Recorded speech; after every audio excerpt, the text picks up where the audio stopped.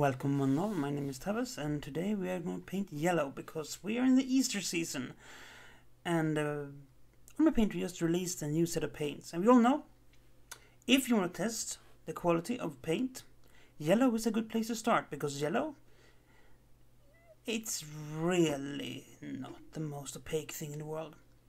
So, how did they do? Now, others have pointed out that a way that Army Painter's done these paints to make sure that they are a lot more covering is that they increase the amount of white in them. And there's something to that. This Daemonic Yellow is slightly more lemony than the previous one, so there might be some, definitely be something to that. But, as you can see here, this is straight out of the bottle, uh, Daemonic Yellow, onto a grey primer. And yes, my lighting does give it a little bit of a leg up, but not much. This covers perfectly one coat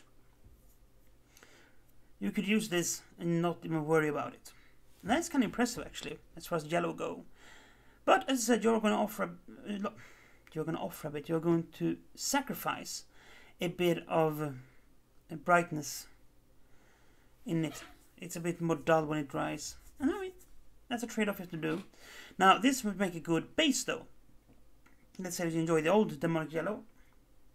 Putting this down first as a base and then applying the new yellow on top of that would be really good. So yeah, there you have it, one coat. It's great. It's perfect. Now, of course, we're not going to stop there. We're going to apply a bit of soft tone. It's a new soft tone. It's a lot more runny and not as jelly-like as the old one. But it's more like a, a, Games Workshop wash, which is a good thing. Uh, let's just bring out some of the shapes and things. And technically this could be it. Once you've done this, you could slap this on the table and have a tabletop ready model. It's good enough. This is basically mass production standard.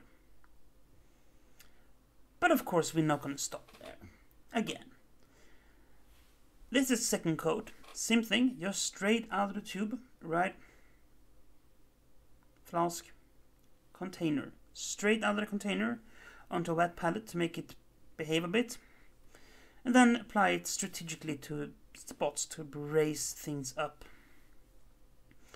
Because, well, um, we still want this to look popping, not be all muted, because it, it, it's yellow after all. We got to give it the best chance to shine. And, um, yeah, I am fundamentally surprised about how well this covers. It is the same smooth, creamy texture.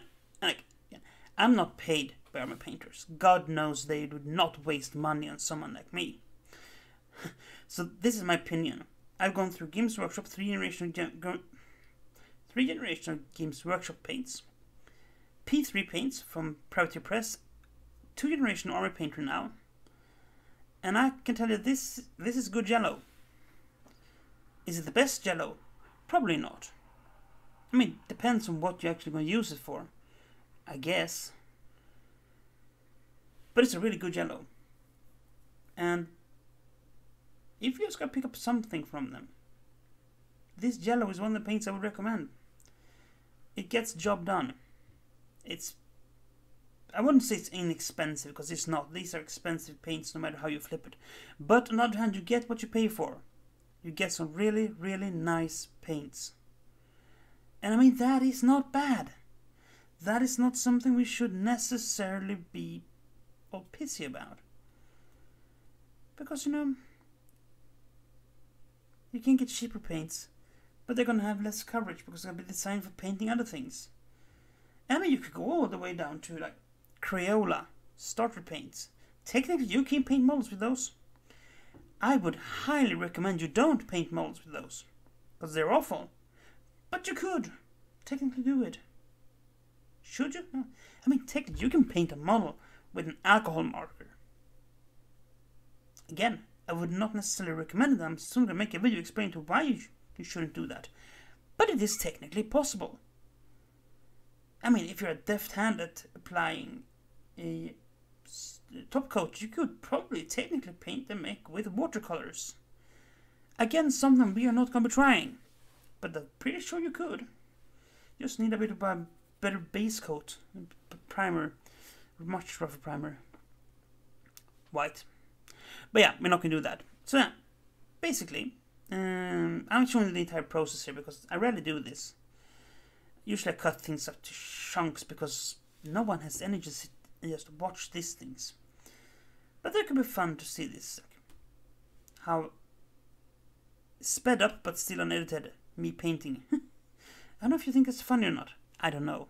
It's a thing anyway. Now, of course, this is a very basic mech because I painted this before I headed off for Easter. And Easter, where I live, for me at least, means convention. A small, by international standards, gaming convention, but one of the locally biggest ones. GothCon. Um, it's a nice little thing you get get together, play games, buy stuff, you know, the, the, the usual stuff. And I just came back home, saw that my previous video has done pretty well, so I was like, yeah, I really should get this wrapped up. Because I basically didn't have time to do the audio before, so basically this is me three, four days after I edited the video, come back and rewatching it and recording the audio. Because, you know, that is how you do. Now, of course, during Easter, things happened. We're gonna have to talk about it, since we're painting mechs. Yeah, I'm fully aware of the Catalyst Game Labs BackerKit shipping costs issue. Can't say much about it. I was fortunately spared the worst of it. I got pretty much as much shipping as I was expecting, not as as hoping for, but expecting about 80 bucks. That is not unexpected. It's pretty expected actually. But I've seen people. I saw people had 1005 150 200 1075 billion i mean that hurts i fully respect that that hurts and I hope they get a good solution to it but still international shipping is what it is these days yeah also I applied some bronze to it because well i thought it was fun and some green on the eye because you know you need to apply those things they're nice But yeah, for all intents and purposes, this was the full painting process. This is yellow. This is daemonic yellow from the Fanatics range, and I think it's a really good yellow, and I would recommend that you pick it up if you want a good yellow. But then again, if you have a good yellow already, this is not so great that you need to throw out your old yellow. Keep your old yellow. But yeah.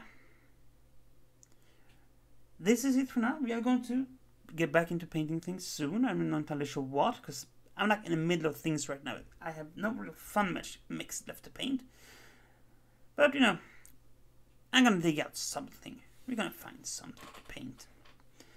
And before we roll into the pretties, I'm gonna say as usual, stay safe, be kind, and as always, do stay safe. Bye.